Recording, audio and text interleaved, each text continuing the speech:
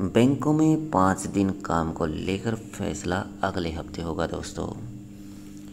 बैंकों में हफ़्ते में पाँच दिन ही कामकाज किया जाए।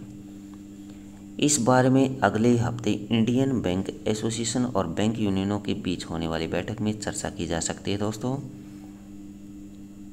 जानकारी के मुताबिक बैंक के यूनियनों के इस प्रस्ताव पर बैंक सहमत हैं और सप्ताह में कामकाजी घंटों में कुछ बदलाव करते हुए इसे लागू करने पर विचार किया जा सकता है। मामले से जुड़े अधिकारी के मुताबिक इंडियन बैंक एसोसिएशन यानी आईबीए और बैंक यूनियनों के बीच 28 जुलाई को बैठक प्रस्तावित है।